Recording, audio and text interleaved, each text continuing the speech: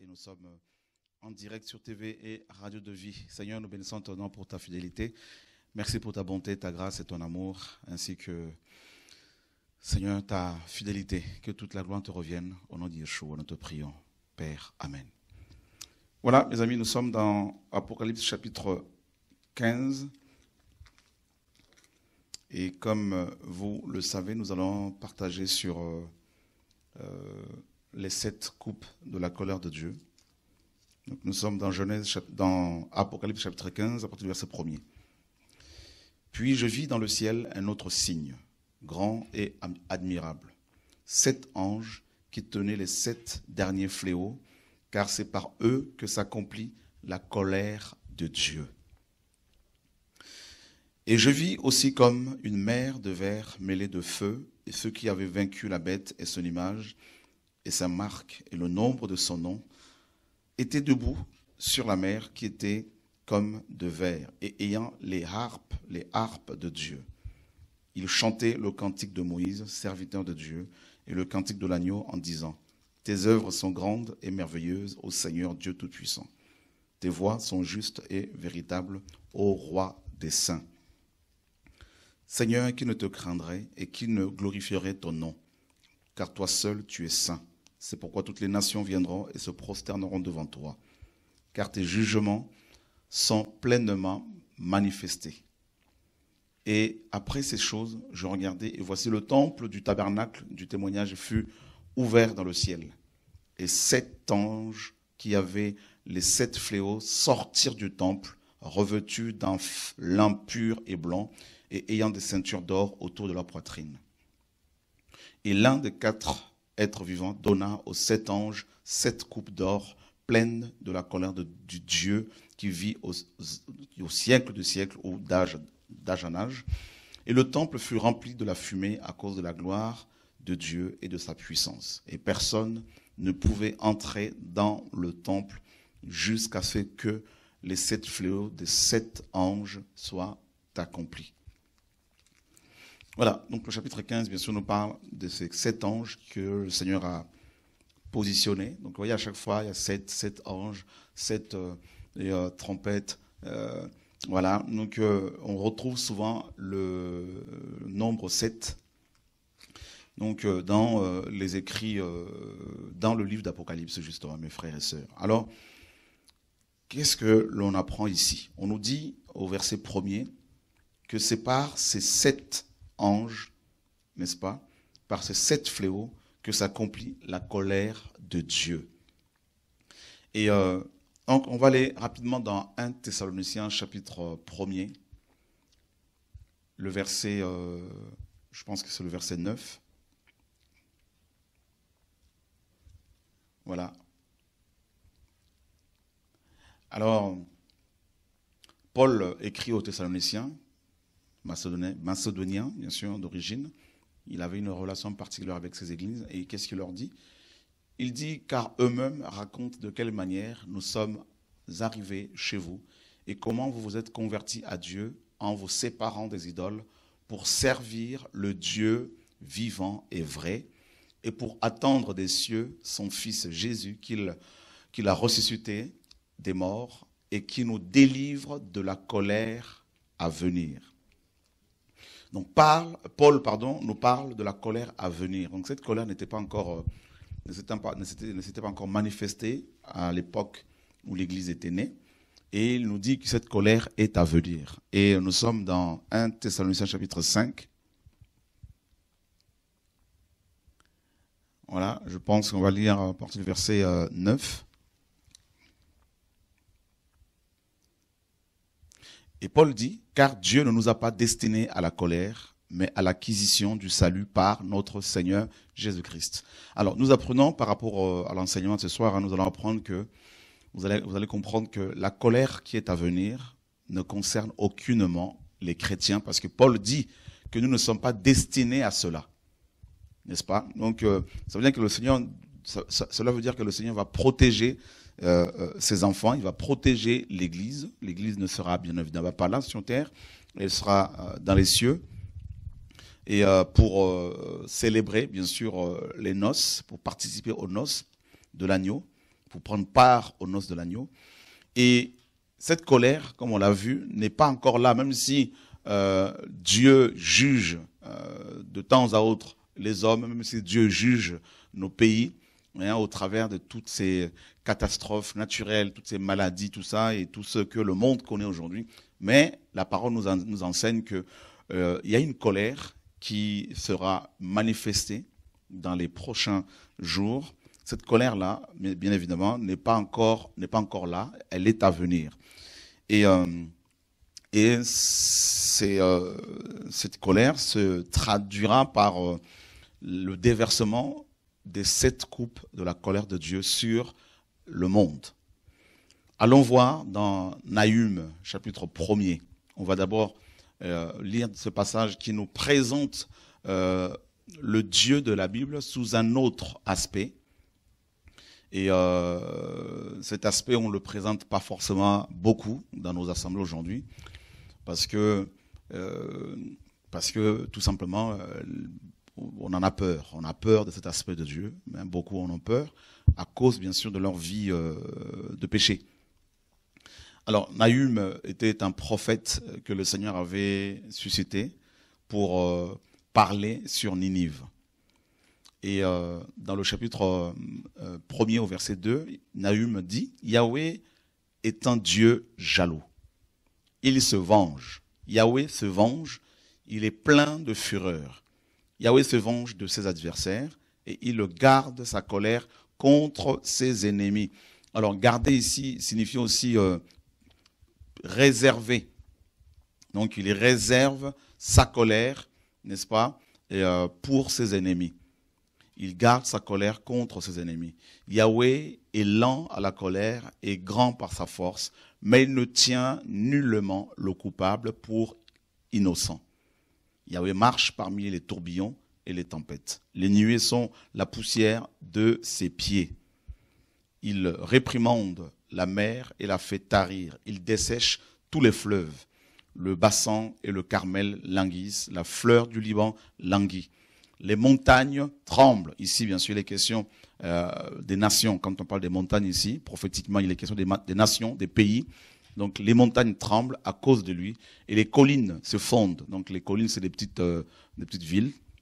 La terre se soulève devant sa présence, dis-je, et tout ce qui y habite. Qui subsistera devant son indignation et qui peut résister à l'ardeur de sa colère? Sa fureur se répand comme un feu et les rochers se brisent devant lui. Yahweh est bon, il est une forteresse au jour de la détresse et il connaît ceux qui se confient en lui. Il s'en va passer comme un débordement d'eau. Il fera une entière destruction de son lieu et les ténèbres poursuivront ses ennemis. Que projetez-vous contre Yahweh? C'est lui qui réduit à néant la détresse. C'est lui qui réduit à néant. Euh, la détresse ne se levera pas deux fois car entrelacés comme des épines et ivres de leur vin, ils seront consumés entièrement comme la paille sèche.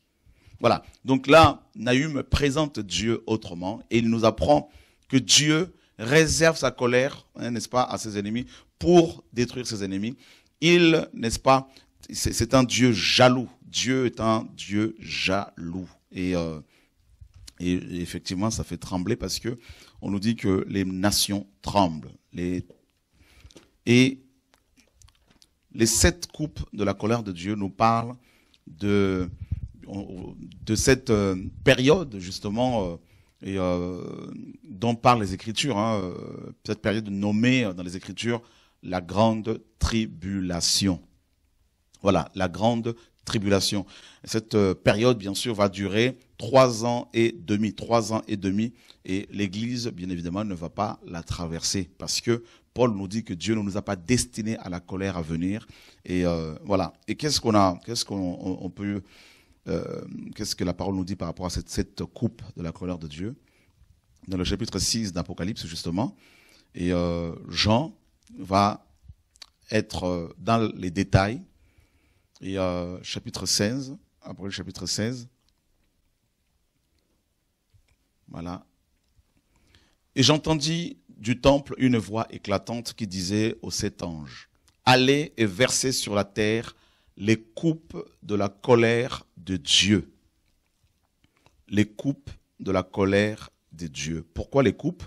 Eh bien, cette colère du Seigneur qui se traduit par euh, le déversement de ce coupe est comme une, euh, n'est-ce pas, comme du vin qui doit être bu. Voilà. Et Dieu, n'est-ce pas, et, euh, va enivrer les hommes de ce monde et, euh, et euh, de sa colère. Voilà. Et, et ça va être, mes amis, très, très, très, très dur.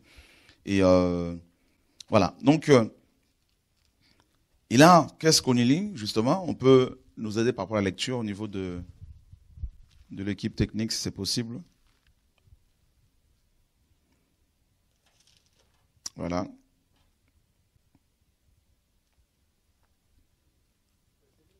À partir du verset 2. ouais.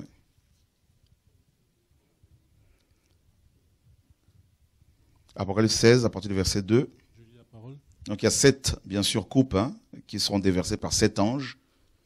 Et le premier ange s'en alla et versa sa coupe sur la terre. Et un ulcère malin et dangereux frappa les hommes qui avaient la marque de la bête et ceux qui adoraient son image. Voilà. Et- Donc, la première coupe sera versée sur les idolâtres. Voilà. Dieu est contre l'idolâtrie. Et Dieu juge, bien sûr, euh, mes amis, euh, euh, juge ceux, celles qui pratiquent l'idolâtrie. On nous dit que le premier ange s'en alla et versa sa coupe sur la terre. Et un ulcère malin et dangereux frappa les hommes qui avaient la marque de la bête et ceux qui adoraient son, image. Alors, nous sommes dans euh, Exode chapitre 1er.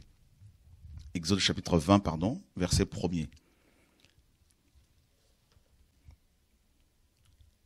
20, chapitre 1er. Euh, verset 1. Alors Dieu prononça toutes ces paroles, disant Je suis Yahvé, ton Dieu, qui t'ai fait sortir du pays d'Égypte, de la maison de servitude. Tu n'auras pas d'autre Dieu devant ma face. Mhm. Tu ne te feras pas d'image taillée, ni aucune ressemblance des choses qui sont là-haut aux cieux, ni ici-bas sur la terre, ni dans les eaux sous la terre. Tu ne te prosterneras pas devant elles et ne les serviras point, car je suis Yahvé, ton Dieu, le Dieu qui est jaloux, qui punit l'iniquité des pères sur les fils jusqu'à la troisième et à la quatrième génération de ceux qui me haïssent Mhm. et qui fait miséricorde jusqu'à mille générations à ceux qui m'aiment et qui gardent mes commandements. Voilà. Donc là, c'est fort ce que Dieu dit ici. Donc on va nous trouver en même temps euh, certaines images hein, des gens qui adorent les, les, les hommes qui s'agenouillent devant les pasteurs. On va montrer toutes ces, toutes ces images-là. Et euh, voilà, donc j'avais prévu de, de, de, de partager plusieurs coupes ce soir, sur plusieurs coupes. Et, euh, et là, le Seigneur me conduit à beaucoup plus développer sur la première coupe parce que c'est quand même euh, important. Je pense que si, euh, selon que le Seigneur va nous conduire, chaque soirée sera consacrée à une seule coupe pour pouvoir rentrer vraiment en profondeur de euh, la parole. Donc, euh, et euh, les ulcères, euh, les ulcères malins sont ici les conséquences de la malédiction et hein, donc euh, de la désobéissance. Et on retrouve cela hein, dans, on va dans, dans Deutéronome 28, on va, on va le voir plus tard. Et d'abord, on va nous, re- euh, nous afficher encore, s'il vous plaît, les, les, les- euh, le passage d'Exode 20. Et euh, Dieu conduit les Hébreux dans le désert de Sinaï. Et il se révèle à eux sur, le, sur cette montagne, hein, le mont euh, Sinaï, et il leur dit, je suis, n'est-ce pas? À partir du verset premier, donc si on peut revenir encore en arrière, s'il vous plaît. Et euh, alors Dieu prononça toutes ces paroles en disant, je suis Yahweh, ton Dieu, qui te fait sortir du pays d'Égypte et de la maison de la servitude. Et Dieu voulait que les Hébreux se rappellent de cela parce que euh, aucun autre Dieu n'a pu les, libérer hein, de la servitude. Et en tant que chrétiens, nous devons non plus, euh, nous ne devons pas l'oublier. Nous ne devons pas oublier que c'est Dieu qui nous a sauvés. C'est le Seigneur Yeshua qui est mort à la croix pour nos péchés, pour nous. Et donc nous n'avons pas besoin, nous, ne- devons pas, euh, nous ne devrions pas courir après les hommes et euh, les transformant en idoles, parce que Dieu est contre cela. Dieu n'aime pas ces choses. Et Dieu dit, tu n'auras pas d'autre Dieu devant ma face. Et tu n'auras pas d'autre Dieu devant ma face. Et tu ne te feras pas d'image taillée. Donc on va nous montrer quelques images là si vous les avez euh, trouvées, s'il vous plaît, mes amis. Et euh, l'idolâtrie. Hein, donc, euh, et Dieu est contre cela. Voilà. Donc, tu n'auras pas d'autre Dieu devant ma face. Le Seigneur est contre, contre cela. Regardez un peu toutes ces images, hein, vous allez voir. Et euh, donc, même les photos de Jésus-Christ de Nazareth, cela constitue une idolâtrie. Constitue une idolâtrie. Donc, on doit vraiment veiller hein, à ne pas avoir même des soi-disant photos de Jésus-Christ. Parce que personne ne l'a pris en photo. Et euh, voilà. Et euh, donc là, nous avons, euh, vous avez les images hein, des, gens qui adorent carrément. Là, c'est Exode 32, hein, un peu qui nous est relaté là. Euh, voilà, ils ont, ils vont transformer, ils vont se fabriquer un dieu. Donc, on va vous montrer hein, comment le monde est dans l'idolâtrie. D'abord, on va voir dans la chrétienté, et ensuite on va aller dans les autres, religions. Et dans le livre de, pendant que vous montrez les images, là, s'il vous plaît, pendant qu'on le fait défiler, et euh, dans, dans Psaume, je vais lire pendant que les images passent, dans Psaume 106, euh, la parole nous dit au verset, euh, et, à partir du verset premier, louez Yahweh, célébrez Yahweh car il est bon, car sa bonté demeure à toujours. Qui pourra réciter les exploits de Yahweh? Qui, n'est-ce pas, qui pourrait réciter les exploits de Yahweh, qui pourrait faire retentir toute sa louange? Bénissons ceux qui observent la justice, qui font en tout temps ce qui est juste. Yahweh, souviens-toi de moi selon la bienveillance que tu portes à ton peuple et soin de moi selon ta délivrance, afin que je voie le bien de tes élus, que je me réjouisse dans la joie de ta nation, que je me glorifie avec ton héritage. Nous avons péché avec nos pères, nous avons agi dans l'iniquité, nous avons fait le mal. Nos pères n'ont pas été attentifs à tes merveilles en Égypte.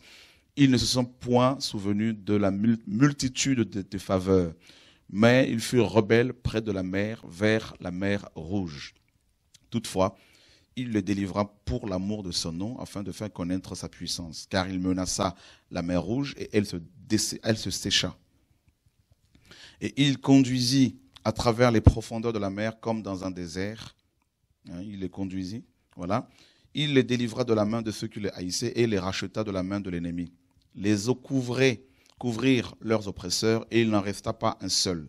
Alors ils crurent à ses paroles et ils chantèrent sa louange. Mais ils oublièrent vite ses œuvres et ne s'attendirent point à son conseil ils furent épris de convoitise. Ils furent épris de convoitise au désert et ils tentèrent Dieu dans le lieu de désolation.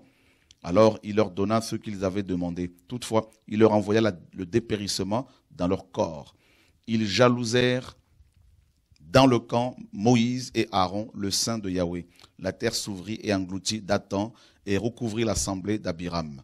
Le feu s'alluma au milieu de leur assemblée et la flamme brûla les méchants ils firent un veau en Horeb. Hein, on va nous montrer l'image de veau, du veau là.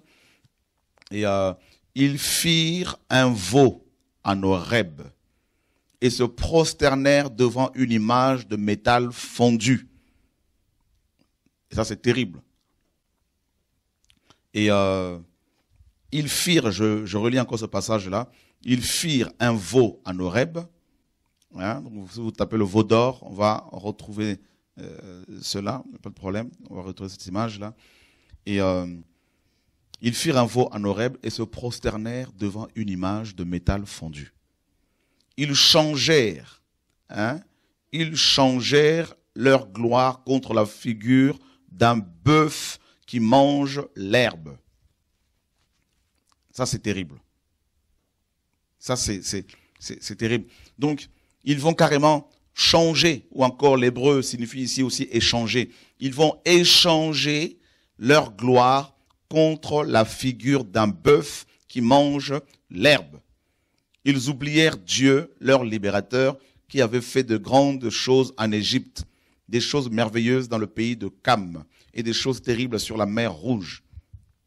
Voilà, donc ils vont échanger la gloire de Dieu contre, n'est-ce pas, l'image d'un animal. Et c'est ce que Paul reprend dans le livre de Romains au chapitre 1er. Qu'est-ce que Paul dit?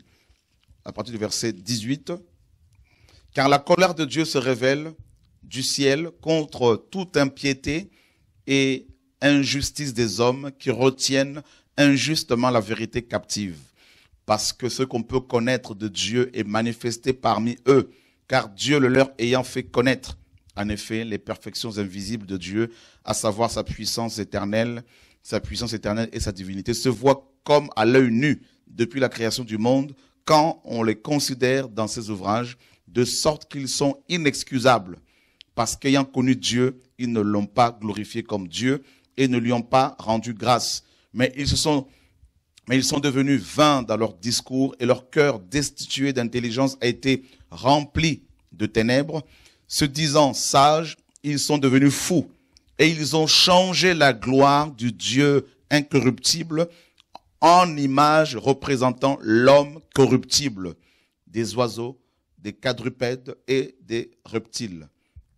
C'est pourquoi aussi Dieu les a livrés aux convoitises de leur propre cœur, de sorte qu'ils se sont, n'est-ce pas, abandonnés à l'impureté, déshonorant entre eux-mêmes leur propre corps. Eux qui ont changé la vérité de Dieu en mensonge et qui ont adoré et servi la créature au lieu du Créateur qui est béni éternellement. Amen. C'est pourquoi Dieu les a livrés à leurs affections infâmes, car même les femmes parmi eux ont changé l'usage naturel en celui qui est contre nature. Et les hommes, laissant de même l'usage naturel de la femme, se sont embrasés dans leur convoitise les uns envers les autres, commettant homme avec homme des choses infâmes, et recevant en eux-mêmes la récompense de leur égarement qui leur était due.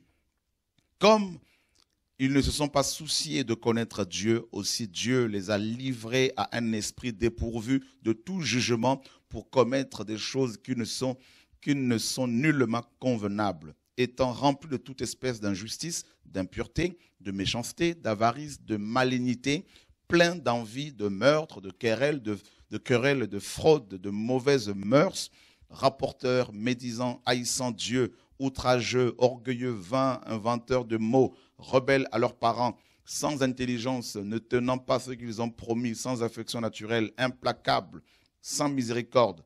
Et bien qu'ils connaissent le jugement de Dieu, à savoir que ceux qui commettent de telles choses sont dignes de mort, non seulement ils le font, mais encore ils approuvent ceux qui le font. Regardez-moi tout ça, c'est quand même impressionnant. Dieu dit qu'il ne faut jamais, mes amis, adorer quelqu'un d'autre, ni les images, ni les objets, rien d'autre que lui seul. Et c'est le premier commandement qu'il a donné aux hommes. Je suis Yahweh ton Dieu, dit-il, n'est-ce pas, aux Hébreux. Et, tu n'auras pas d'autre Dieu devant ma face. Tu ne feras pas d'image taillée. Les Hébreux ont fait, euh, ont créé, ont fabriqué un veau d'or.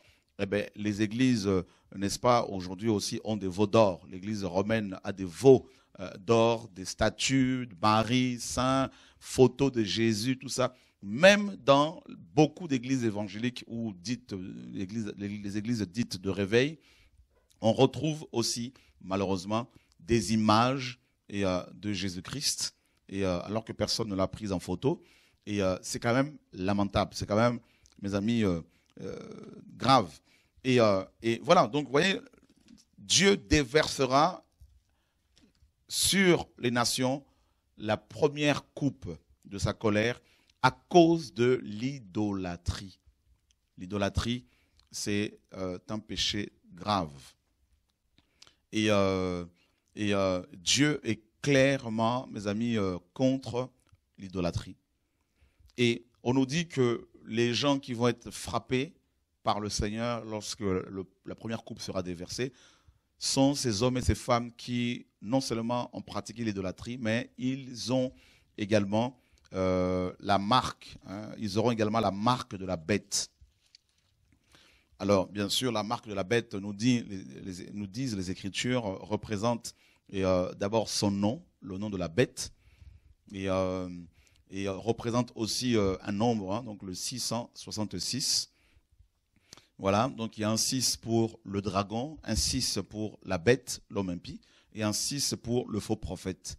Voilà, donc c'est-à-dire l'église paganisée, la religion mondialiste, euh, syncrétiste, œcuméniste, tout ça. Et vous voyez, et c'est quand même terrible parce que même dans nos assemblées aussi, même, même dans nos réunions, on trouve quand même des gens qui veulent adorer les hommes, même voir nous adorer nous. Et c'est pour cela que nous refusons l'idolâtrie des gens qui ne veulent pas se passer des hommes. Un idolâtre est un individu qui a du mal à se passer de son idole. C'est un, personnage, un homme ou une femme qui a du mal à se passer de quelqu'un ou de quelque chose. Si vous avez du mal à se passer, si vous avez du mal à vous passer de quelqu'un ou d'une personne, d'une femme, d'un homme, euh, d'un repas, euh, d'un objet, eh ben, vous devenez un idolâtre, tout simplement. Parce que entre l'idolâtre et son idole, eh ben, il y a, euh, y a euh, en fait, un idolâtre, euh, l'idolâtre va être très, très addict, n'est-ce pas? Très addict de son idole et, très, très dépendant et totalement sur le plan parfois émotionnel, spirituel, physique, matériel, financier, tout ça. Et voilà. Donc, et on va continuer hein, à montrer l'idolâtrie, hein, même dans le monde. Hein. donc il n'y a pas de souci, les images, vous pouvez nous trouver à chaque fois et, euh, pour euh, nous les diffuser. Je pense que les frères et sœurs ont besoin de toutes ces informations-là. Et, euh, notre génération, selon les Écritures, sera caractérisée, et c'est déjà le cas, par l'idolâtrie. Et Paul nous dit même dans 2 Timothée chapitre, chapitre 3, et il dit quelque chose de fort.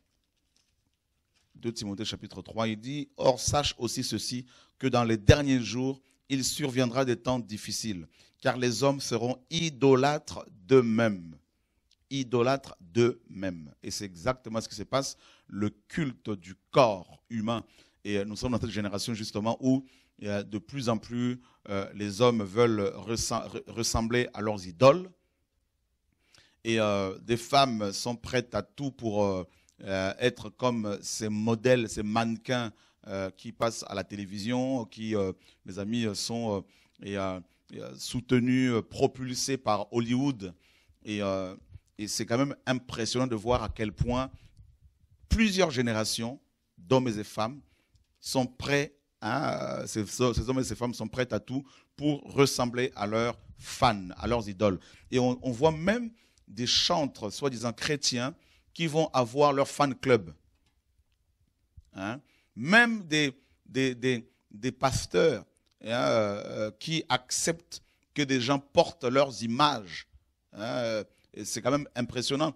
Et la parole est claire là-dessus. Les hommes seront idolâtres d'eux-mêmes. Et vous allez, vous allez voir aujourd'hui, la plupart des pasteurs, des prophètes mettent leurs photos sur Facebook. Pourquoi? Parce que ben justement, nous sommes dans cette génération de l'imagerie. Or, l'image de la bête, et, euh, nous dit Apocalypse chapitre, euh, euh, chapitre 13, recevra, l'image de la bête recevra un esprit. C'est-à-dire, cette image sera animée. Et, et, nous sommes dans une génération où l'imagerie occupe une place centrale, une place importante dans les foyers, dans nos vies. Et, et, donc, du coup, ben, les hommes, au lieu d'élever le Seigneur, comme Jean pouvait le dire qu'il croit, c'est que je diminue, eh ben, ils vont euh, carrément euh, euh, se mettre en avant, mettant leur propre photographie partout, partout avec leurs femmes et leurs enfants. On voit qu'il y a vraiment ce désir de se faire voir, de se montrer. Alors, je ne sais pas si on a d'autres images parce que j'ai plus, plus de retour ici sur le plateau. Et voilà, c'est quand même impressionnant de voir, mes amis, l'accomplissement hein, de cette prophétie biblique qui nous annonce justement qu'à la fin de temps, il va y avoir toutes ces choses-là. Donc, et euh, là, ben, vous avez euh, effectivement des gens qui s'agenouillent carrément devant hein, euh, un semblant de l'arche, hein, et tout ça avec des images d'anges, voilà, et on s'agenouille dessus pour soi-disant prier. Je crois même que ça doit être une église évangélique. Voilà, donc c'est vraiment la confusion totale. De la confusion partout. L'idolâtrie, on ne la trouve pas seulement chez les catholiques, mais même dans, dans, nos assemblées, dans les assemblées, qu'elles soient évangéliques, pentecôtistes, tout ça, la baptiste, tout ça. Et euh, voilà. Donc, le, et Paul nous dit justement et, euh, que les hommes seront idolâtres d'abord d'eux-mêmes. Ils vont tellement s'aimer qu'ils vont, euh, mes amis, oublier d'aimer le Seigneur. Et ils vont tellement s'aimer qu'ils vont dépenser des millions pour se faire même, euh, euh, comment dire, euh, pour subir des transformations physiques, hein, de la chirurgie esthétique, tout ça, et pour avoir une, apparence attirante. Et, regardez ici dans une église, hein, pareil, une église évangélique, hein, et vous avez un homme qui est à genoux devant ce pasteur et en train de l'adorer carrément. Voilà. En train de l'adorer. Et tout le monde trouve ça normal. Alors que dans les Écritures, quand on lit dans Apocalypse chapitre 19, pendant qu'on vous montre des images là, et là c'est le, mur de lamentation à Jérusalem, c'est carrément le pape qui met euh, euh, dedans euh, une feuille certainement sur laquelle il y a une demande. Alors que le Seigneur a dit, ce n'est plus à Jérusalem qu'il faut chercher Dieu, ce n'est pas dans le temple à Jérusalem, car Dieu est esprit, il faut l'adorer en esprit et en vérité. Et Jean a failli adorer l'ange qui lui avait été envoyé. Et regardez ce que l'ange lui dira pendant qu'on vous montre des images dans Apocalypse chapitre 19. Alors je tombais à ses pieds pour l'adorer, mais il me dit, garde-toi de le faire. Je suis, disait-il, ton compagnon de service et celui de tes frères qui ont le témoignage de Jésus. Adore Dieu, car le témoignage de Jésus est l'esprit de la prophétie. Voyez, adore Dieu. Et là, on voit, mes amis, euh, des hommes qui acceptent, des prédicateurs qui acceptent que des, chrétiens s'agenouillent devant eux, se mettent à genoux devant eux, alors que l'ange envoyé par Dieu va dire à Jean, ne te mets pas à genoux devant moi. Il va refuser l'adoration de Jean. Et il lui dira, adore Dieu, l'ange, c'est-à-dire ce messager. Alors tout messager de Dieu doit refuser l'idolâtrie. Alors ici, vous avez un bishop, un pasteur africain, qui prêche n'est-ce pas? Et on peut même nous montrer la vidéo hein, si vous l'avez. Non, on n'a pas la vidéo. Donc il prêche, il était hein, assis sur euh, euh, son trône, et voilà les idolâtres hein, euh, de cet homme qui arrive et qui le soulève carrément. Comment voulez-vous que la colère de Dieu n'éclate pas? Comment voulez-vous que Dieu ne déverse pas, mes amis, cette première coupe sur les hommes? Cette coupe de sa colère qui va, n'est-ce pas, amener, qui va engendrer euh, des ulcères malins. Hein. comment voulez-vous que le Seigneur ne frappe pas? Alors que nous connaissons tous la parole du Seigneur qui dit qu'il ne faut surtout pas, surtout pas adorer d'autres euh, dieux que lui. Et vous savez que Satan veut toujours se faire adorer. Il aime cela, il veut usurper, n'est-ce pas, euh, toutes les prérogatives divines. Hein. et euh, là, nous sommes en Afrique. Et a un autre prédicateur qui se fait soulever pendant qu'il prêche, n'est-ce pas? Glorifier, adorer. Et tout le monde trouve ça normal. Ça ne choque pas tous ces gens qui sont là, certainement. Il doit y avoir certainement deux ou trois personnes qui devaient être choquées, je ne sais pas, mais en tout cas, c'est quand même euh, euh, alarmant de voir à quel point le diable est assis dans ces assemblées. Comment la parole de Romains 1 s'accomplit, où Dieu dit qu'ils ont remplacé la gloire de Dieu par l'homme. Hein? Ils ont, n'est-ce pas, préféré adorer et servir l'homme, c'est-à-dire la créature, au lieu du Créateur qui est béni éternellement. C'est quand même étonnant. Voilà, donc euh, et euh, on continue, on va vraiment euh, montrer aux frères et sœurs tout ce qu'il peut y avoir et euh, pour qu'ils réalisent à quel point Dieu est juste. Parce que souvent, on peut se poser des questions quand le Seigneur juge quelqu'un ou une nation, ou même quand on lit les Écritures, on se dit, mais pourquoi certaines personnes peuvent se poser des questions en se disant, mais pourquoi le Seigneur va, n'est-ce pas, permettre à ce que même des villes soient rasées, des enfants, des familles, eh ben, Dieu est juste. Il est question de sa justice. Voilà. Sa justice est telle que celui qui tue doit être tué. Et heureusement qu'il y a eu l'œuvre de la croix, mais le Seigneur, mes amis, euh, après l'enlèvement de l'Église, va juger le, royaume de l'Antéchrist. Voilà. Alors, euh, voilà ce que la parole nous dit dans euh, le livre de Deutéronome chapitre 28, pendant qu'on trouve des images là, à partir du verset 15. Mais si tu n'obéis point à la voix de Yahweh ton Dieu pour prendre garde de pratiquer tous ses commandements et ses lois que je t'ordonne aujourd'hui, voici toutes les malédictions qui viendront sur toi et qui t'atteindront. Tu seras maudit dans la ville et tu seras maudit dans les champs. Ta corbeille et ta huche seront maudites. Le fruit de tes entrailles, le fruit de ta terre, les portées de ton gros et de ton menu bétail seront maudits. Tu seras maudit à ton entrée et tu seras maudit à ta sortie.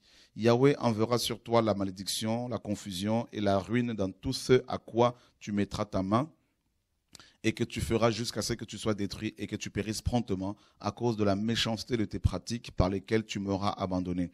Yahweh fera que la peste s'attachera à toi jusqu'à ce qu'elle te consume, n'est-ce pas, sur la terre où tu vas entrer pour en prendre possession.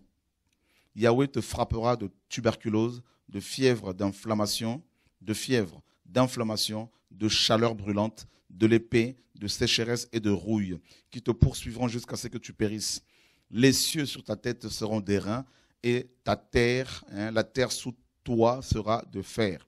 Yahweh te donnera pour pluie à ton pays de la poussière et de la poudre qui descendra Hein, de la poudre qui descendra des cieux sur toi jusqu'à ce que tu sois détruit. Yahweh fera que tu seras battu devant tes ennemis, tu sortiras par un chemin contre eux, et tu t'enfuiras devant eux par sept chemins, et tu seras tremblant face à tous les royaumes de la terre. Ton cadavre sera la viande de tous les oiseaux des cieux et des bêtes de la terre. Il n'y aura personne qui les effraie. Yahweh te frappera de l'ulcère. Yahweh te frappera de l'ulcère d'Égypte. Yahweh te frappera d'ulcère d'Égypte, d'hémorroïdes, de gales et de teignes dont tu ne pourras guérir. C'est terrible, hein Donc, vous voyez le verset 27 hein, de Deutéronome 28, 27, Yahweh te frappera de l'ulcère d'Égypte. Et c'est terrible. Donc, vous voyez bien que euh, euh, lors du déversement de la première coupe, on nous dit que les gens seront frappés d'ulcères. Alors, regardez vous-même ici ce qui se passe, très honnêtement. Dans une église, hein, une église évangélique, et vous avez trois, trois individus qui se disent euh, chrétiens, trois femmes en l'occurrence, hein, il y a aussi des hommes, et qui vont bêtement suivre cet homme. Regardez, il y a une autre qui se rajoute mes amis, comment voulez-vous que Dieu ne se mette pas en colère contre de tels agissements? Hmm? Ce sont des démons qu'il faut chasser là. Carrément, ce sont des personnes possédées, y compris le pasteur, parce que les gens sont à genoux comme ça et euh, pour le suivre.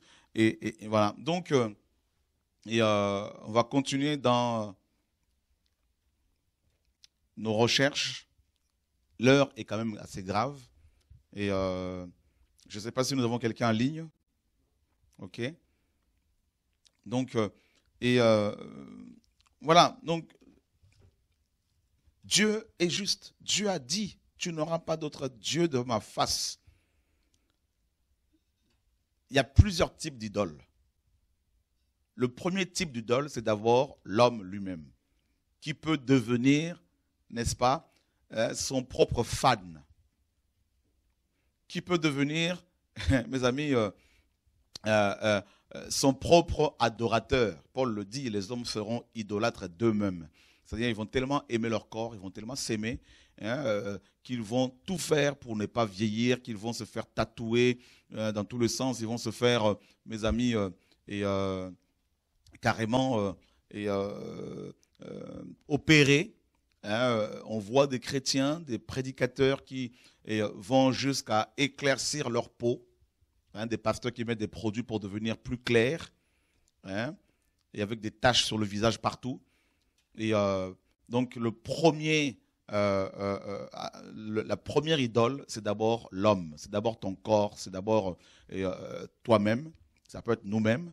Et la deuxième, mes amis, idole, c'est aussi c'est tout ce qui est autour de nous. Hein. Et Paul dit justement dans Philippiens 3, il dit, dans Philippiens, pardon, il dit, il y en a, ils ont pour Dieu leur propre ventre. C'est-à-dire la nourriture peut tellement, euh, on peut tellement attacher à la nourriture qu'on a du mal justement à s'en passer. Et ça devient une idole.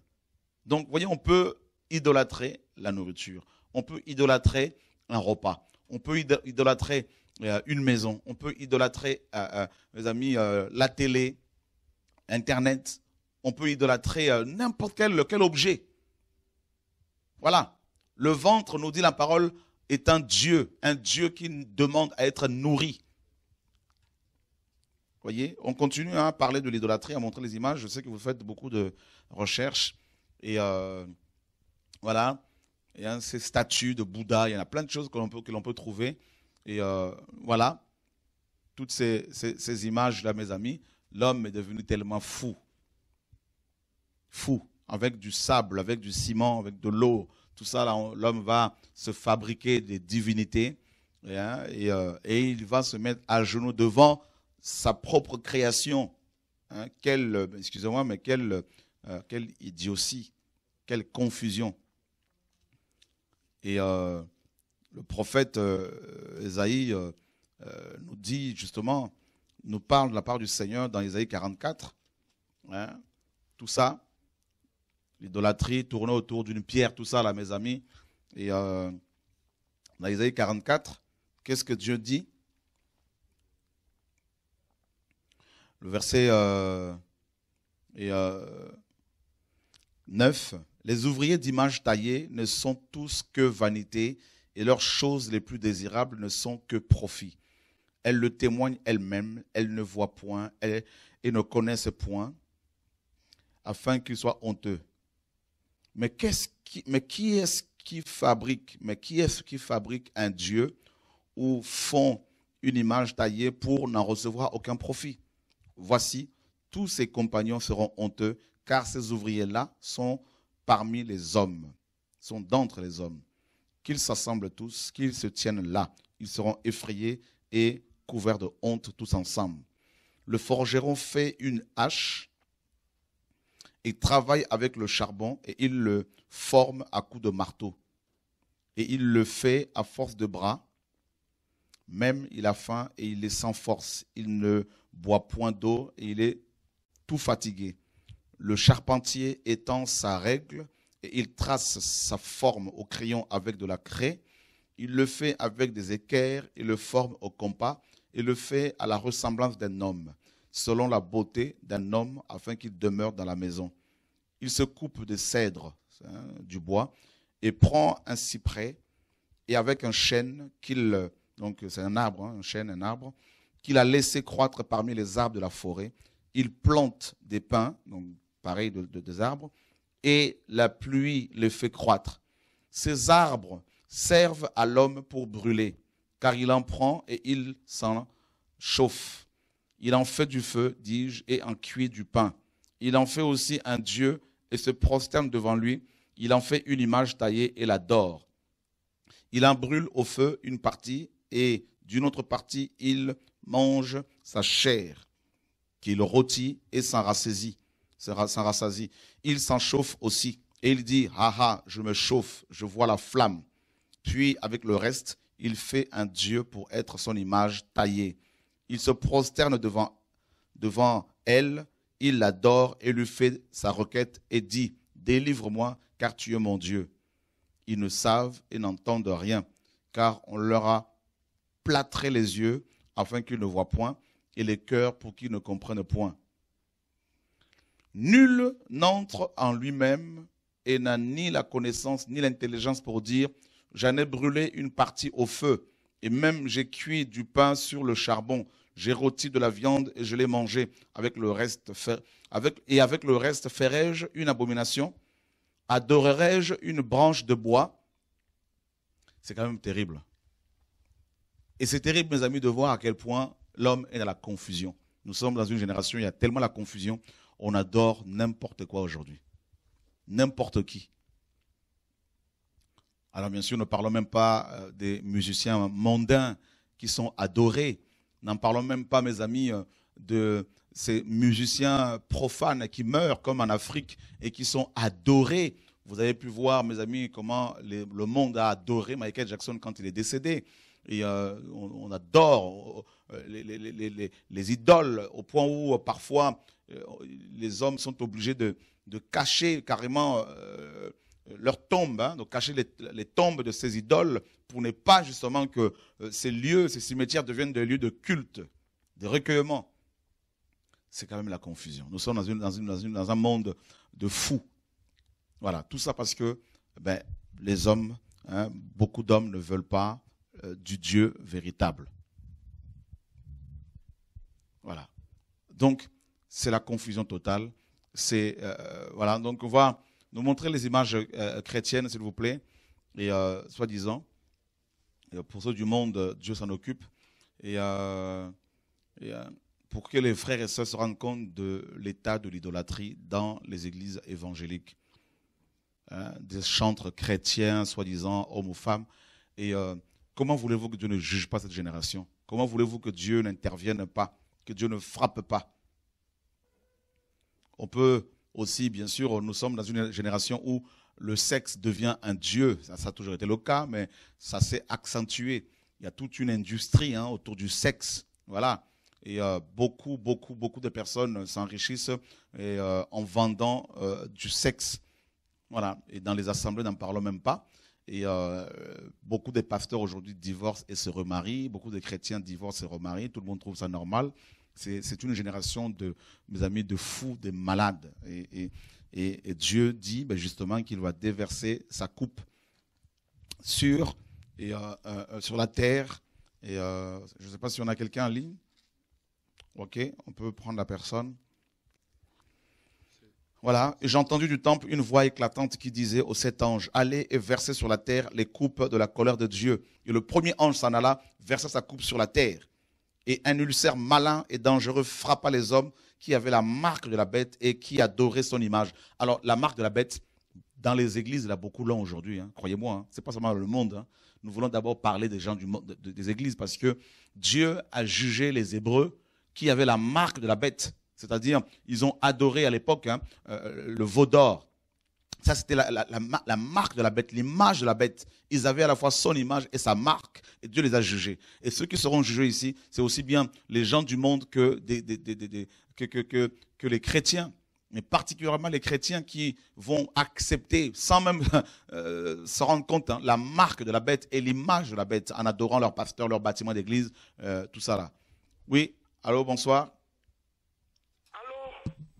Oui, allô? Allô? Allô, bonsoir, bonsoir, monsieur François. Oui. Oui, je voulais simplement savoir, la première coupe, est-ce qu'elle n'est pas déjà déversée Parce que comme il y a tellement beaucoup de maladies là. Bon, de toute façon, les prophéties se, répètent à chaque fois. Hmm. Bien évidemment, on trouve euh, beaucoup de personnes qui souffrent d'ulcères euh, euh, sur terre. Donc, et oui, Dieu juge, et les coupes se, se déversent, mais en tout cas, et euh, elles seront particulièrement déversées pendant la grande tribulation. Mais toutefois, les, les, fléaux dont il est question euh, par rapport à ce couple hein, euh, sont aussi manifestes aujourd'hui. Hum, hum, hum, ok, ok. Vraiment, merci. C'est ce que je voulais savoir. Merci vraiment. Que Dieu soit béni. Merci vraiment. Que le Seigneur vous fortifie. Merci vraiment. Voilà, vous savez, à cause de ce message, ben, nous sommes attaqués de partout, mais on bénit Dieu et euh, parce que ça plaît pas, parce que ça dérange. Et, euh, les enfants de Dieu qui découvrent la vérité, ben, on, veut les intimider pour ne pas qu'ils euh, acceptent la vérité par. Hein, ce sont ces pharisiens, ces faux prophètes, ces faux docteurs qui se remplissent le ventre bien comme il faut et, avec des fausses doctrines et dont les femmes chantent soi-disant et qui sont de véritables prostituées, de véritables Jézabel. Et mes amis, euh, qui s'associent et qui retournent à leur vomi et qui s'associent avec les pasteurs impies. Nous ne voulons pas nous souiller, nous voulons rester avec le Seigneur et annoncer le retour du Maître. Et euh, bien évidemment, comme vous le savez, nous n'annonçons pas, euh, la, nous ne prêchons pas les églises, nous ne vous recommandons pas les assemblées, nous vous recommandons le Seigneur et, et son royaume, bien sûr. Oui. Allô, bonsoir. Je crois que ce soir, beaucoup appellent. Donc, frères et sœurs, s'il vous plaît, mes amis, au niveau de l'équipe technique, continuez dans les images, là, parce que c'est vraiment important. C'est à vous. Parce qu'il faut que les frères et sœurs découvrent un peu, qu'on fasse un peu le tour d'horizon. De nos assemblées aujourd'hui. Allô, bonsoir. Bonsoir, frère Chora, c'est le frère Florian de Rouen. Oui. Alors, euh, j'avais un témoignage à faire il y a quelque temps. J'ai prié parce que je demandais vraiment au Seigneur la crainte de Dieu. Et la nuit, en fait, j'ai été transporté et j'ai entendu euh, plusieurs voix. Je ne sais pas si c'était les anges qui disaient comme ça glorifiez Jésus-Christ, glorifiez Jésus-Christ, Jésus-Christ, glorifiez Jésus-Christ, glorifiez. Et ils tapaient tous du pied comme ça, en fait. Ou ils tapaient quelque chose, je ne sais pas, et ça allait de plus en plus vite, comme si, en fait, ils, attendaient quelque chose. Comme s'ils étaient en marche, en fait. Et, en fait, vraiment, j'avais besoin de témoigner ce soir, de dire vraiment à tous les enfants de Dieu, vraiment comment j'avais peur, j'avais vraiment peur, frère j'avais vraiment peur, la présence de Dieu, elle est tellement sainte. Et je me rends compte, c'est incroyable. Dans mon cœur, c'est comme si ça battait tellement fort. Je veux que tout le monde entende ce soir ce message. Vraiment, le Seigneur, pour le craindre. Vraiment, il est tellement saint. Et, et sa présence, quand elle est venue comme ça. Et c'était cela que je voulais dire ce soir. Vraiment, que chacun vraiment se repente. Le Seigneur est à la porte. Les anges, ils- c'est comme s'ils ils mettaient la pression au Seigneur, ou je sais pas. Je sais pas, mais c'est comme s'ils voulaient qu'il intervienne, en fait, tout de suite, en fait. Le, le c'est glorifier Jésus-Christ. Il faut glorifier Jésus-Christ. C'est ça le mot d'ordre. Et que le mot glorifie Jésus-Christ. C'est justement comme vous avez dit, pas les hommes, parce qu'aujourd'hui on, adore trop les hommes, parce qu'aujourd'hui on adore trop les idoles. Et, et frère Chora, je, voulais aussi vous encourager à continuer sur cette voie-là. Maintenant, je comprends pourquoi vous dénoncez comme cela. Je comprends, parce qu'il faut dénoncer, parce que Dieu veut qu'on l'adore seul en esprit et en vérité. Et c'était cela. Et je voulais savoir aussi cette question-là, justement, est-ce que les anges, ils ont droit comment, de, de demander au Seigneur, justement, comme ça, d'intervenir, en fait Euh, bah, c'est sûr que les anges, quand ils voient tout ce qui se passe sur terre, la manière dont les églises, euh, la plupart de nos, de, de- de nos églises d'aujourd'hui, euh, d'aujourd'hui se tournent vers l'idolâtrie, les, anges, bien évidemment, ne sont pas euh, joyeux. Et euh, certainement, ils doivent demander au Seigneur d'intervenir, ça c'est sûr. C'est possible, hein, c'est pas écrit de manière explicite, mais euh, je, le, je pense, c'est possible. Mais euh, c'est plutôt, euh, c'est plutôt l'Église véritable, les véritables chrétiens qui, en voyant ce qui se passe sur terre, soupirent, soupirent, soupirent après le retour du Seigneur et, et demandent à ce qu'il intervienne parce qu'effectivement, on n'en peut plus. Amen. Oui, c'est, on est, moi je suis fatigué, hein. je suis fatigué aussi, pareil. De, de, des fois c'est difficile d'avoir l'amour et tout ça pour les, pour les, les, les, les, les- les païens, mais le Seigneur il nous demande d'avoir l'amour aussi et la patience. C'est pas toujours facile. Effectivement, Et- mais, par sa grâce, on va y arriver. Le Seigneur est proche et puis euh, donc voilà, j'avais vraiment besoin de témoigner, j'avais ça dans le cœur parce que ça, si- il est tellement sain, on se rend même pas compte en fait qu'on peut rencontrer aussi le lion quoi. On peut rencontrer aussi euh, comment le Dieu, comme vous avez dit, qui qui, qui va se venger. effectivement, On se rend il pas va- compte quoi. de toute façon, il, va, il, va, il est en train de, de, de- de le faire. On, on voit avec, euh, on voit ce qui se passe dans le monde, tout ça. On comprend que le Seigneur est en train de, de revenir et puis euh, son jugement va être euh, terrible. Donc, merci frère en tout cas. En tout cas, soyez bénis. Bon Merci. courage. Au revoir. Voilà, donc quand on voit tout ça, mes amis, hein, euh, c'est quand même horrible. hein. Regardez, on va taper Maman 100 jours. Et euh, hein, donc, euh, les, images là, au stade là-bas à Kin, là, je sais pas si on peut trouver les images là.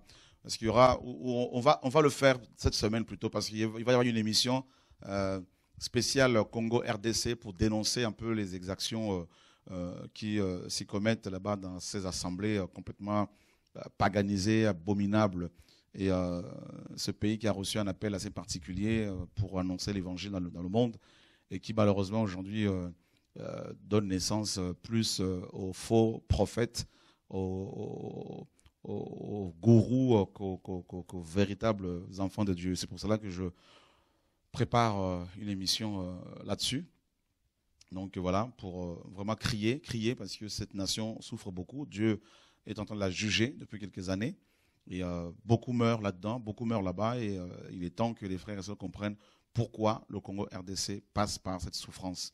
C'est à cause justement des églises, à cause des pasteurs, à cause des dirigeants, à cause de ceux qui sont censés mes amis, éclairer les autres avec l'évangile qu'ils ont reçu. Voilà. Donc, euh, nous sommes sur la première coupe. Hein. Donc, vous voyez que euh, vous êtes beaucoup à réagir ce soir parce qu'effectivement, euh, toutes ces images nous choquent. Et nous, excusez-moi du terme, nous dégoûtent, nous dégoûtent. Nous horrifient, nous, nous révoltent parce qu'on se dit, mais Seigneur, mais et, comment cela est-il possible? Et l'homme, bien sûr, est profondément idolâtre. Et euh, nous devons, nous qui prêchons l'évangile, fuir l'idolâtrie, refuser l'idolâtrie. Et, euh, et, maintenant, ceux qui l'acceptent, là, c'est un problème. voyez? Paul et, Barnabas ont été euh, pris pour, pour, pour, des dieux hein, dans Acte 14. Et Paul était comparé, et on disait que Paul était euh, Mercure et Barnabas étaient Jupiter, et Paul et Barnabas ont refusé cela, ils ont déchiré leurs vêtements. Oui, on, peut avoir affaire à des comportements idolâtres, mais il ne faut pas les accepter, il faut les fuir. Vous remarquerez que quand quelqu'un se met à genoux devant nous, nous nous mettons aussi à genoux, ou nous demandons à la personne de se lever parce qu'on ne doit pas s'agenouiller devant les hommes, à part quand on chasse les démons, qu'on leur donne l'ordre de se mettre à genoux devant le Seigneur, tout ça. Mais euh, un, nous, sommes dans un, dans un, temps de confusion spirituelle. Et euh, de confusion terrible. Voilà, donc nous allons vraiment rester sur la première coupe parce que euh, voilà, c'est la coupe qui est déversée sur les, idolâtres. On a quelqu'un en ligne, je crois. Allô, bonsoir. Allô Allô? Oui, bonsoir. Bonsoir. Euh, en fait, j'ai appelé parce que j'aurais aimé savoir. Vous aviez dit que, que en fait, on peut être idolâtre de plusieurs choses don de son ventre, on peut être idolâtre de son téléphone, de la télé, de tout plein de choses. Et en fait, euh, ce que je voulais savoir, c'était, par exemple, nous aujourd'hui les jeunes, on a tous euh, des réseaux sociaux. Et euh, par exemple, comme vous avez dit tout à l'heure, on, on, s'aime soi-même, c'est-à-dire on va mettre des photos de nous, on va s'exposer, on va faire ci, on va faire ça. Maintenant, est-ce que par exemple mettre une ou deux photos, par exemple dans un site que tous les jeunes utilisent aujourd'hui, par exemple WhatsApp, est-ce que c'est considéré comme de l'idolâtrie notamment si on met une ou deux photos ou euh, enfin voilà je veux savoir quoi. Est-ce que euh, c'est en fait c'est poste une photo de nous par exemple l'objectif euh, pourquoi vouloir mettre ces photos? C'est ces images figées comme ça là. Et voilà je, je, ne dis pas forcément que ceux qui font ça ils vont en enfer. C'est pas ça mon message. Il faut pas bien évidemment que les frères et sœurs interprètent mal mes propos mais je dis simplement que ça commence par une photo, une deuxième photo, une troisième photo, et puis on commence à parler de soi-même. Alors que nous sommes, nous qui avons reçu l'évangile, nous sommes là pour présenter Christ. Donc si nous sommes chrétiens et que euh, nous avons des réseaux sociaux ici et là, pourquoi ne pas justement présenter l'évangile simplement? Pourquoi ne pas simplement présenter l'évangile? Pourquoi vouloir aller se mettre au, devant? Il y en a qui diraient, mais oui, mais euh, il y a tes vidéos, il y a vos vidéos ici et là. Mais ce n'est pas la même chose.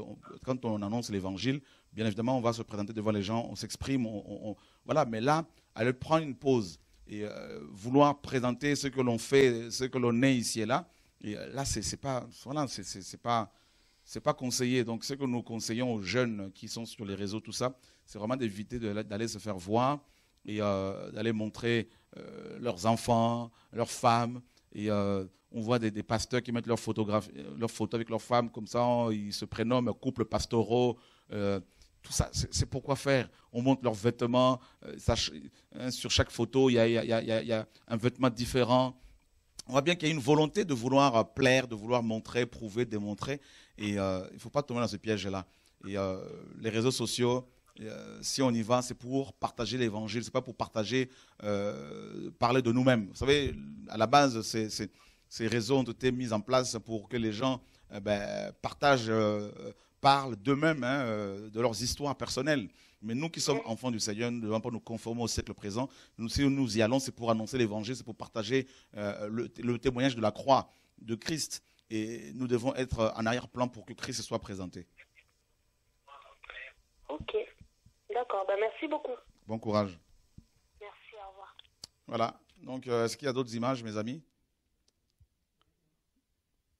Je sais que c'est un sujet assez euh, vaste, hein, donc euh, qu'est l'idolâtrie. Et, et voilà, ne pas pouvoir se passer de son téléphone pendant quelques heures, c'est aussi de l'idolâtrie, par exemple. Bon, à moins que vous soyez à moins que ce soit un outil de travail. Voilà, mais à un moment donné aussi, euh, il y a besoin de se reposer. On peut se passer de ce portable. Voilà, tout ça c'est important. Et, euh, et, euh, et Dieu nous dit, hein, les écrits, nous dit la Bible, Dieu est jaloux. Voilà, jaloux. Et il ne veut pas que quelqu'un d'autre prenne sa place. Et, et les ulcères malins, mes amis, ceux qui sont touchés, ceux qui sont touchés par ce fléau euh, souffrent énormément et euh, on connaît un peu euh, l'histoire et les, fléaux que le Seigneur a envoyés en Égypte, hein, hein, donc dans Exode, ce que ces hommes ont vécu, ce que les, Égyptiens ont vécu et comment Dieu a jugé cette nation. Les amis, c'était pas pas quelque chose de, de facile, c'était très très dur et voilà. Donc nous sommes dans les Écritures, dans Exode. Et euh, voilà comment Dieu a jugé cette nation, comment le Seigneur a, frappé ce, euh, ce, pays. Voilà, donc euh, Exode chapitre 7.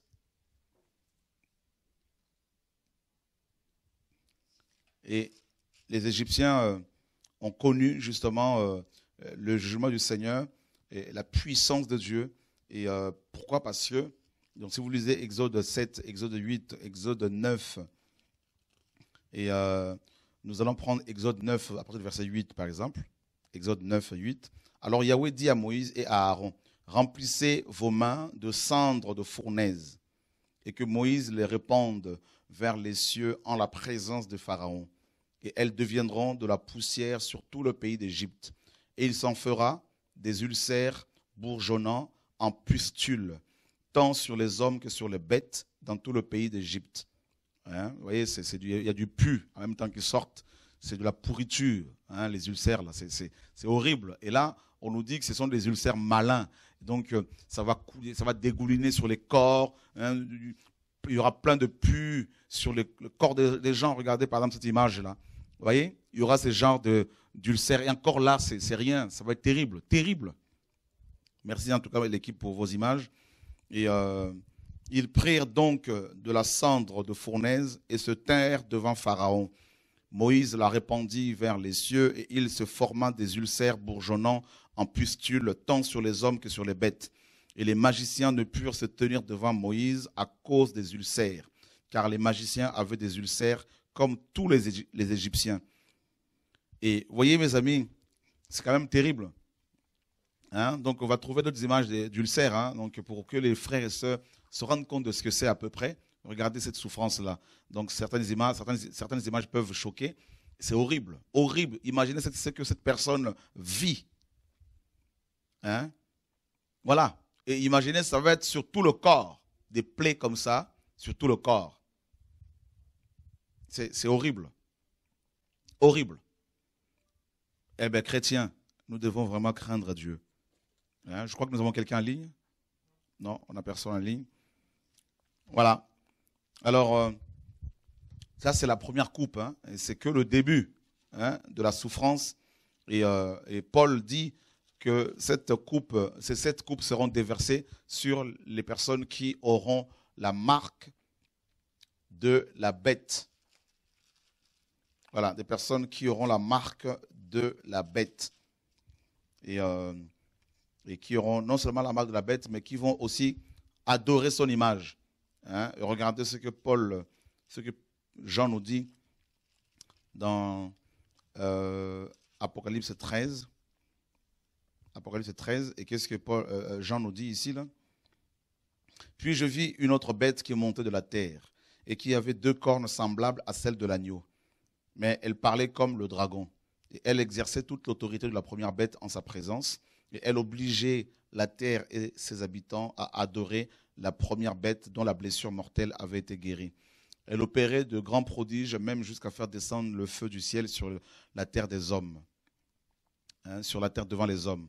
Elle séduisait les habitants de la terre à cause des prodiges qui lui avaient été donnés d'opérer en présence de la bête, disant aux habitants de la terre de faire une image de la bête qui avait reçu le coup mortel de l'épée et qui avait été bien vivante elle lui fut donné de mettre un esprit à l'esprit, hein, il lui, avait et il lui fut donné de mettre un esprit à l'image de la bête, afin que l'image de la bête parle et qu'elle fasse que tous ceux qui n'adoreraient pas, hein, tous ceux qui n'adoreraient pas l'image de la bête soient mis à mort. Et elle fit que tous, petits et grands, riches et pauvres, libres et esclaves, reçoivent une marque sur leur main droite ou sur leur front, et que personne ne puisse acheter ni vendre sans avoir la marque ou le nom de la bête ou le nombre de son nom. Ici est la sagesse, que celui qui a de l'intelligence compte le nombre de la bête, car c'est un nombre d'hommes, et son nombre est 666. Un jour, j'ai rencontré un homme qui m'a dit, hein, euh, voilà la bête en question, merci pour les images, et euh, un homme qui, m'a, qui a servi le diable pendant des années, il était euh, euh, un Illuminati, hein, donc un maçon de plus de 33e degré, et il me dira que le monde est dirigé par 600 hommes, 600 hommes, 600 hommes. Le monde, selon lui, il me disait, est dirigé par 600 hommes. Et, euh, et il disait, euh, euh, il y en a 33 dans chaque pays, 33 dans chaque continent, et on sélectionne les meilleurs, et ils sont 600. Et ça confirme la parole qui dit que c'est un nombre d'hommes. D'accord? C'est le chiffre 6. Et, et euh, pourquoi 3, 6 Il y a un 6 pour la bête, il y a un 6 pour le dragon, il y a un 6 pour, n'est-ce pas, euh, le faux prophète, donc la, religion euh, écuméniste. Et qu'est-ce qu'on on, on- on y lit aussi? Qu'est-ce qu'on tr- on trouve? Et on nous dit que l'image de la bête va recevoir un esprit pour qu'elle puisse se mettre à parler. Un esprit, c'est-à-dire un démon, l'image de la bête. Hein, et l'image de la bête, bien sûr, euh, euh, euh, c'est de l'idolâtrie. L'image de la bête, c'est aussi. Il y, a- plusieurs choses qui représentent l'image de la bête. hein. Hein, c'est Hollywood, par exemple. Hollywood, c'est vraiment l'image de la bête. Hollywood, la télévision, tout ça, Internet. Il faut vraiment faire attention pour ne pas en être dépendant, mes amis, de ces choses. L'image de la bête, c'est aussi l'idolâtrie, tout simplement. Il y a plusieurs aspects. C'est aussi l'idolâtrie. Et, euh, parce que les Hébreux avaient des images. Dieu dit, tu n'auras pas d'autre, euh, tu ne feras pas d'image taillée. Donc, vous voyez, donc l'image de la bête, c'est aussi euh, des objets qui sont adorés, des statues, tout ça. Vous voyez, et des hommes aussi, des hommes, tout ça. Donc, ça fait partie de l'image de la bête. C'est pas seulement le cinéma, la télévision, tout ça. C'est aussi les statues, des images qui sont adorées, des photos de Jésus-Christ, tout ça. Ce sont les images de la bête, tout ça. Il ne faut pas euh, en avoir, il faut carrément vous en débarrasser, tout ça. Ce n'est pas euh, euh, biblique. Et regardez ce que la parole nous dit. on nous dit qu'il y a aussi la, marque de la bête. La marque de la bête au niveau du front et au niveau de la main droite. Pourquoi le front? Si vous lisez dans Deutéronome 6, Dieu disait aux enfants d'Israël qu'il fallait qu'ils aient sur le front un bout de, de- quelques versets de la Bible. hein. Le front, c'est la pensée, et la main, c'est le pouvoir ou l'action. Et Dieu voulait que les actions des Hébreux soient, n'est-ce pas, les résultats de leur euh, pensée. Nous pensons et nous agissons. voyez? Et là, et, euh, l'i- l'image de la bête, euh, euh, ben, c'est aussi le péché. hein. La marque de la bête, pardon, c'est aussi le péché. La marque de la bête, c'est aussi le péché. Et on ne peut ni acheter ni vendre sans la marque de la bête. La marque de la bête a plusieurs aspects. Le premier aspect, c'est l'aspect spirituel. L'aspect spirituel, c'est le péché. Le péché. Et Paul nous dit dans 1 Timothée 4 que les faux prophètes sont marqués au niveau de leur conscience, hein, marqués au fer rouge, au niveau de leur conscience. Et euh, donc la marque de la bête, c'est d'abord le péché. hein. et, euh, et on reconnaît un arbre à ses fruits, dit le Seigneur. Et euh, la marque de la bête, c'est aussi, euh, mes amis, euh, le nom de la bête que les gens portent. hein, c'est le, nom. Et vous savez que les hommes de ce monde veulent se faire un nom. Faisons-nous un nom, disaient les hommes de Genèse 11. Et euh, la, marque de la bête, mes amis, nous dit la parole, si on ne l'a pas, on ne peut ni acheter ni vendre. Et la marque de la bête a aussi ce côté commercial. En fait, c'est la marque de la bête aussi, c'est tout simplement l'argent. Rappelez-vous bien dans, Ma- dans- dans Matthieu 22, le Seigneur pose la question euh, aux, Juifs qui lui tendaient un piège. Les Juifs lui posaient la question, lui demandaient s'il était permis de payer l'impôt à César ou pas. Le Seigneur leur demandera euh, de lui montrer euh, une pièce de monnaie et il leur dira, mais de qui porte-t-elle l'image et l'inscription, et les Juifs vont répondre de César. Et il dira, rendez à César ce qui est à César et à Dieu ce qui est à Dieu. Donc on voit que l'image de la bête, euh, c'est aussi la monnaie, hein, l'argent. Hein, euh, et euh, la, marque de la bête, pardon, c'est aussi l'argent, tout ça, papier, la monnaie, tout simplement. Et si vous prenez vos billets de banque, vous verrez que dessus, il n'y a pas la signature du Seigneur, il y a les images des hommes. Donc c'est pour cela qu'aujourd'hui, on ne peut ni acheter ni vendre sans la marque de la bête, c'est-à-dire sans l'argent. Hein, les cartes bleues, le chéquier, l'argent monnaie, tout ça là, ça fait partie de euh, l'image de la bête. Et euh, ne vous inquiétez pas, ceux qui s'en servent comme nous autres, comme tous, ne vont pas forcément, ne sont pas forcément en train de pécher, mais simplement pour nous montrer que sur l'aspect financier de l'image de la bête, eh ben, mes amis, euh, cette prophétie s'accomplit hein, par rapport au fait qu'on ne peut ni acheter ni vendre sans avoir cette marque-là. Voilà. Mais il viendra aussi un temps où on ne peut vraiment rien faire si on ne présente pas aux, hommes de ce monde cette marque-là qui sera bien sûr euh, euh, un, mode hein, de fonctionnement. Hein. c'est un, mode, de pensée, une manière de fonctionner. Et c'est ce que nous sommes en train de vivre de plus en plus. Hein. Il y a des catastrophes qui sont provoquées dans le but de nous faire accepter des lois qui nous contraignent à l'adoration, qui vont contraindre les hommes à adorer l'image de la bête, le fonctionnement de la bête. Voilà. Donc, euh, mes amis, les prophéties s'accomplissent sous nos yeux. Nous sommes vraiment à la fin. Et euh, c'est pour cela que nous devons prier, prier, nous préparer pour le retour du Mashiach. Nous devons être corrects, respecter tout le monde, respecter les autorités, prier pour nos autorités, prier pour tout le monde et nous préparer de plus en plus pour le retour du Mashiach. Allô, bonsoir. Allô? Allô? Oui. Allô? Allô, bonsoir. Oui, bonsoir. Bonsoir, Frère oui. Oui, euh, j'appelle. J'ai une question euh, concernant les images, en particulier euh, les photos. Voilà.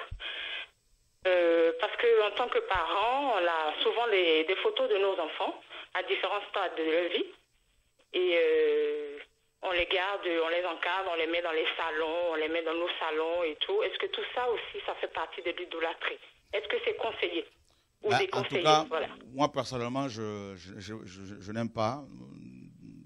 Dans notre famille, hein, dans notre foyer, euh, mon épouse et moi, ainsi que nos enfants, on n'est pas dans tout ce qui est cadre avec des photos, des enfants, photos de famille, tout ça. Bon, on a des photos, bien sûr, euh, mais c'est caché quelque part. Voilà.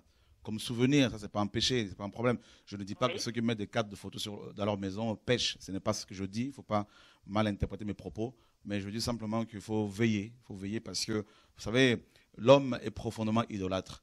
Alors il ne faut vraiment pas prêter le flanc à la chair ni à l'ennemi pour euh, nous entraîner vers euh, cette tendance, euh, malheureusement, cette tendance que la chair a à vouloir adorer tout et n'importe quoi. Tout à fait. Cette tendance idolâtre. Voilà. Donc il faut vraiment faire attention. Il faut, faut beaucoup de discipline. D'accord, d'accord. Parce bon, c'est pas des images qu'on qu'on idolâtre. Bon, on, voit, on voit les photos de nos enfants dans nos salons, on est content. Bon, c'est à différents stades de leur vie, mais on n'est pas forcément euh, on en idolâtrie devant, quoi. Voilà. Ouais, ça c'est pas, c'est pas, forcément un problème, ça. C'est pas forcément un problème. Mais maintenant, euh, s'il y en a partout dans toute la maison, là, ça devient un problème. Oui, oui, d'accord, ok. Voilà. Écoutez, euh, oui, je sais, je sais quoi faire. Je vous remercie et puis euh, voilà, soyez bénis. Merci beaucoup pour tout ce que vous faites. Soyez bénis. Voilà, mes amis. Et euh, il y a aussi, sur le plan matériel, la marque de la bête, bien sûr, c'est l'argent. On ne peut ni acheter ni vendre sans avoir, sans avoir la marque de la bête. Aujourd'hui, c'est le cas. Et il y a aussi la puce électronique qui n'est pas directement la, la marque de la bête comme beaucoup l'enseignent mais plutôt un moyen, bien sûr, pour nous suivre, pour nous tracer, euh, pour euh, nous contrôler. Et hein, donc, euh, on va pouvoir trouver quelques images avec la puce électronique et qui sera implantée, bien sûr, qui sera sous-cutanée, hein, donc au niveau du front, selon certains médias américains, ou encore au niveau de la main droite.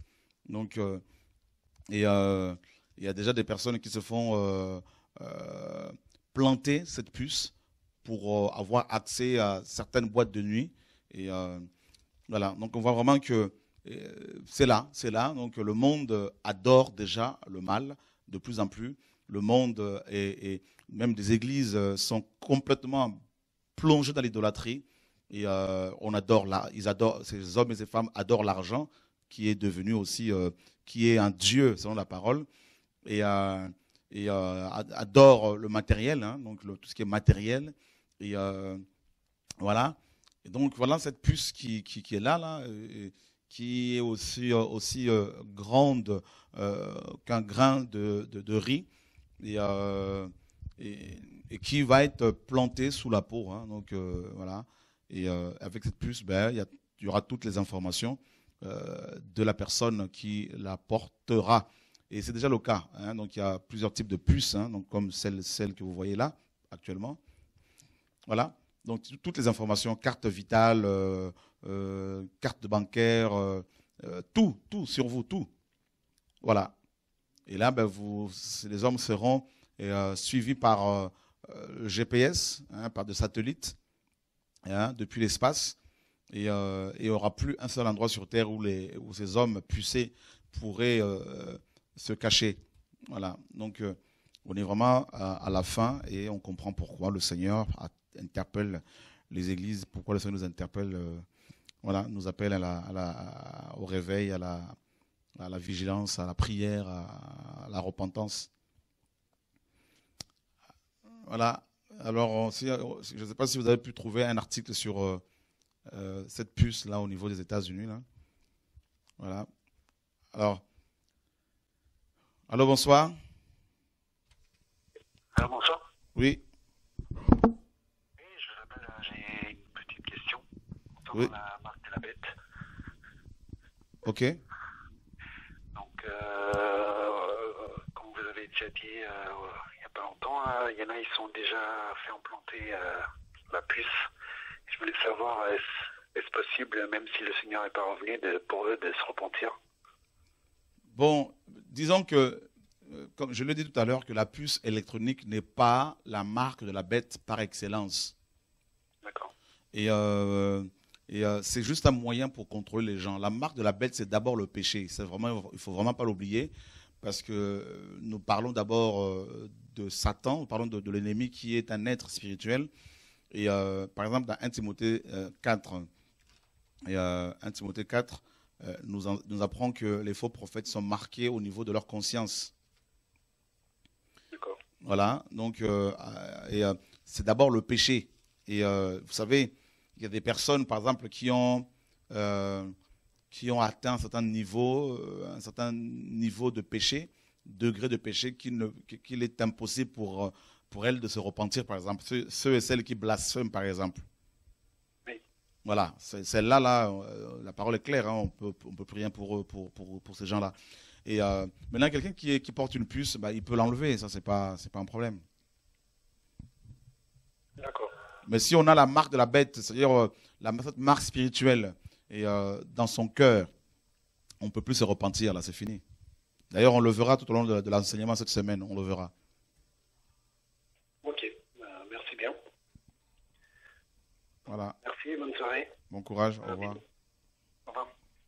Donc la puce, c'est juste un moyen pour contrôler, pour suivre les gens, pour, voilà, pour, pour contrôler l'humanité, c'est tout. C'est euh, mais euh, la marque de la bête, c'est d'abord le péché. Hein, l'image de la bête, eh ben, euh, c'est d'abord l'idolâtrie, toutes les images de Jésus, des, anges, voilà, les statues de Marie, de saints, tout ça.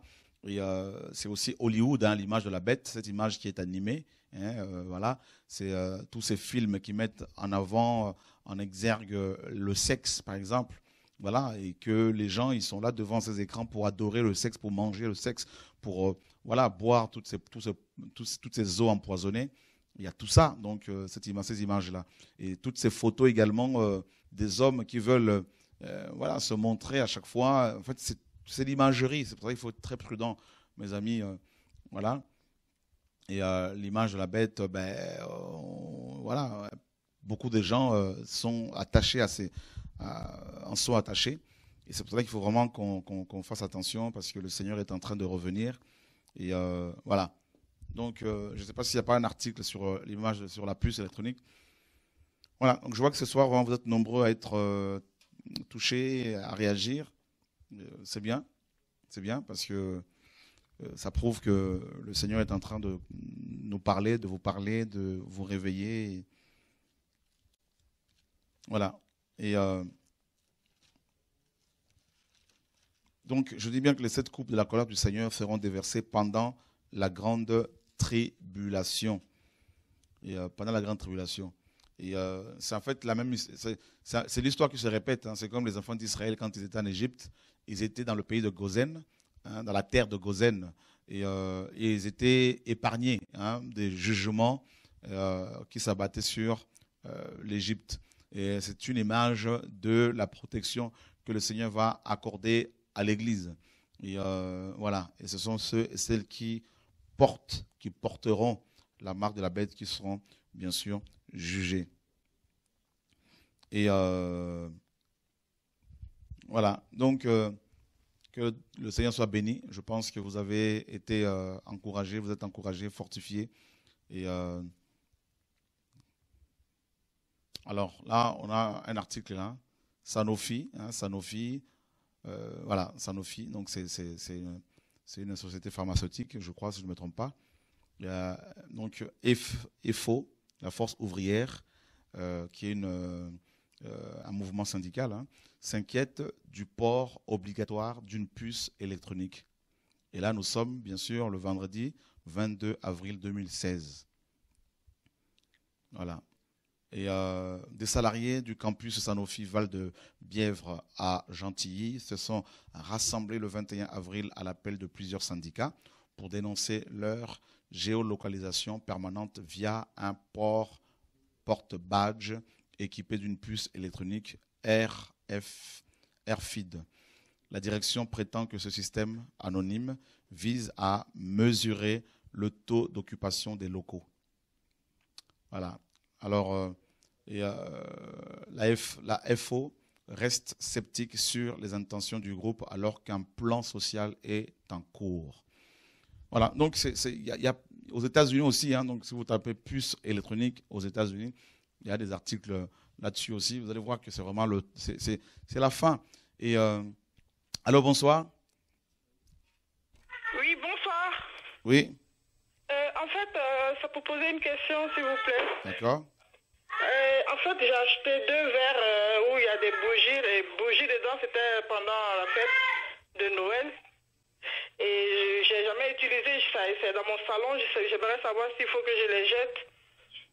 Les bougies de Noël, ben, Noël est une fête, bien sûr, d'origine euh, tout simplement à la fois païenne et bien sûr mystique, hein, donc démoniaque. je pense que ce type de bougies, ouais, il ne faut pas forcément les utiliser, quoi. Mais de toute façon, si vous les sanctifiez et que vous les allumez parce qu'il fait noir chez vous, non pour prier, mais juste pour éclairer. Donc, je ne vois pas de mal à cela.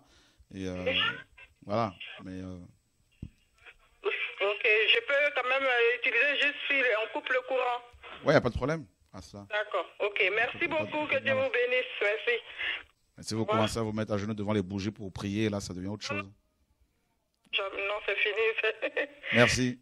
Au revoir, bon courage. Au revoir, merci. Voilà, mes amis, que Dieu soit béni. Et euh, on n'a pas pu trouver cet article aux États-Unis, tout ça, mais c'est pas grave. Que le Seigneur vous garde. Soyons vigilants, soyons prêts.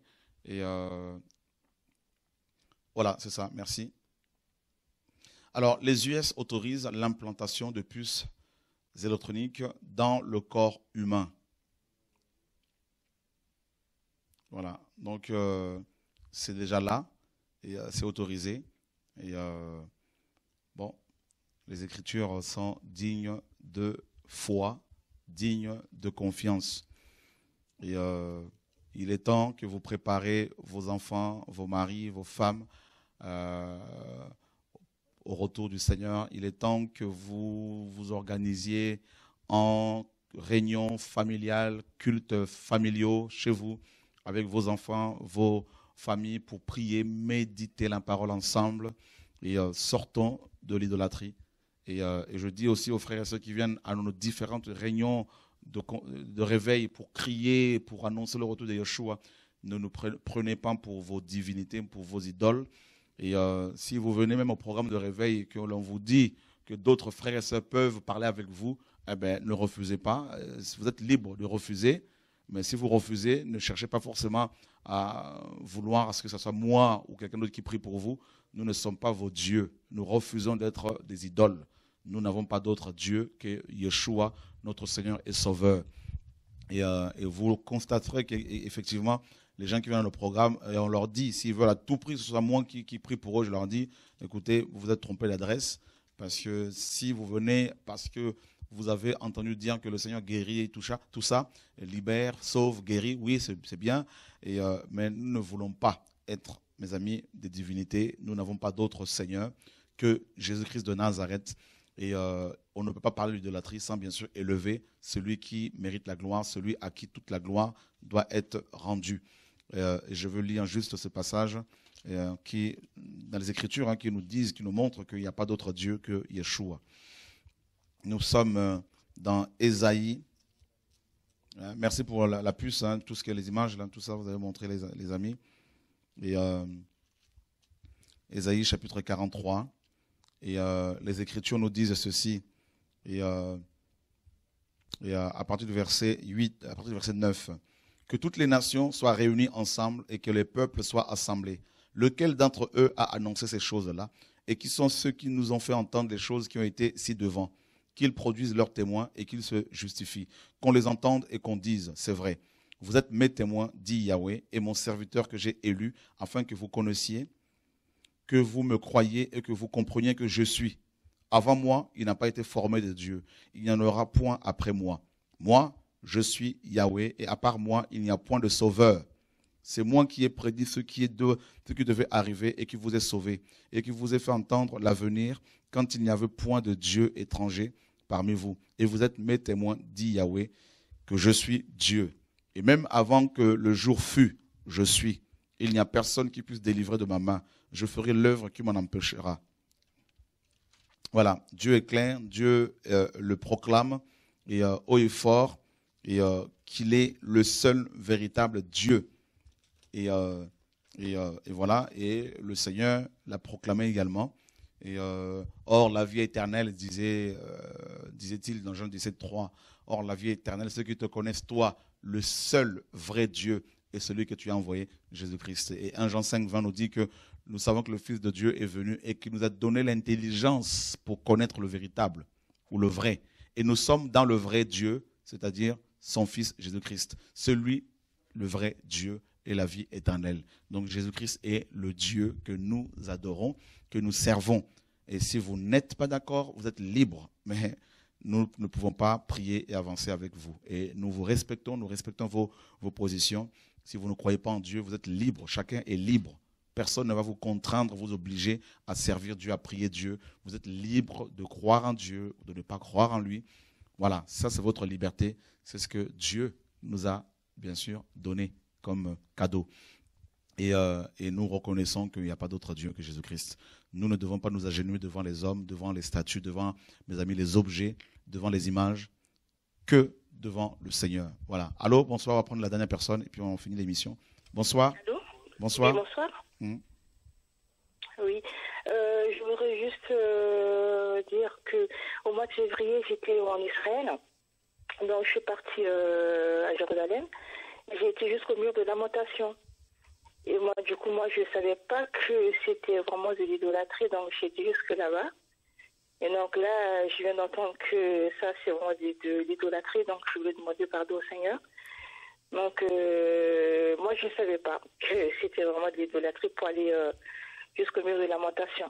Si vous y allez pour juste visiter ce pays et, euh, et les sites, euh, comment dire, historiques, tout ça, il n'y a pas de souci. Mais si vous commencez à prier sur ce mur, à mettre dedans des bouts de, bouts, mor- de bouts de feuilles sur lesquels il y a vos demandes, vos prières, ça devient carrément de l'idolâtrie. C'est c'est une manifestation ou un comportement, je dirais, antichrist. Parce que Christ a dit à la femme samaritaine dans Jean 4, ce n'est ni à, Jérusalem, ni à la montagne de, de la Samarie qu'il faut adorer le Père, car Dieu est esprit, et il faut l'adorer en esprit en vérité. Alors ceux qui vont prier quand même à Jérusalem pour chercher Dieu, eh ben, ils, ils sont, ils s'opposent à la parole que le Seigneur a dite à la femme samaritaine, donc ils deviennent de ce fait des antichrists.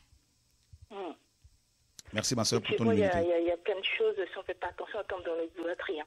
Ou ceux qui ramènent de- de- du sable d'Israël, de, euh, de l'huile d'Israël pour prier seulement pour, pour prier pour les malades parce qu'ils estiment qu'il y a une onction dessus. Ou ceux qui se font rebaptiser euh, dans le Jourdain, tout ça là, ce sont des idolâtres. Ceux qui portent des soutanes, tout ça là, ce sont des idolâtres. Et euh, il y a plein de choses, hein, parce qu'on ne peut pas euh, tout dire ce soir, mais en tout cas, il faut que l'on sorte, que nous sortions de l'idolâtrie pour aller vers le Dieu véritable. Que Dieu nous garde, qu'il nous pardonne tous. Amen. Voilà, ma soeur, mes frères et sœurs. Nous vous donnons rendez-vous demain, 20h30, heure de Paris. Que Dieu vous garde. On va parler de la deuxième euh, euh, coupe. Et euh, que Dieu vous protège. À bientôt. Au revoir.